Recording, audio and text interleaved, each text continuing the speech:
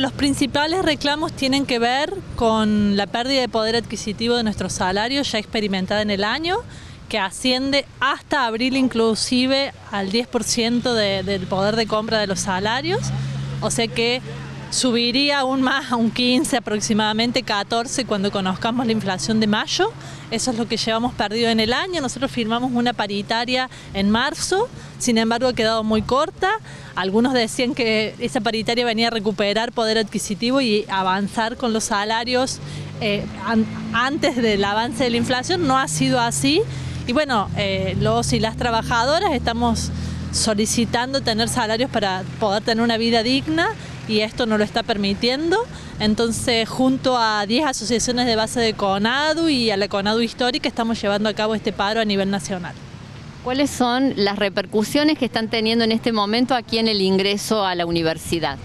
Mira, eh, muy bien, estamos panfleteando, poniendo en consideración de, quienes pasan en sus automóviles acerca de la situación salarial que, que nos aqueja, que le venimos trayendo, ¿no es cierto? Porque también tenemos Nunca tuvimos un plan de recuperación de poder adquisitivo, venimos perdiendo poder adquisitivo desde el 2015 a la fecha.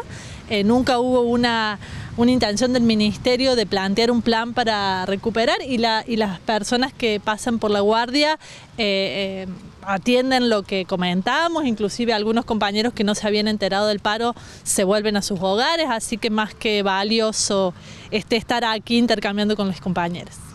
¿Cómo siguen los desafíos hacia adelante, profesora, a ustedes como asociación gremial docente? Bueno, ahora deberíamos estar eh, bueno, analizando un poco el efecto de la de la medida a nivel nacional y local y estar pensando cómo se sigue, ¿no es cierto? Porque en realidad lo que uno espera es que el Ministerio se siente en una mesa de negociación con una oferta que sea atendible, que responda a los requerimientos que tienen los trabajadores y las trabajadoras. Así que bueno, analizando cómo, cómo ha sido el acatamiento y cómo ha sido la medida en todas las universidades y después viendo cuál es el plan de acción a seguir.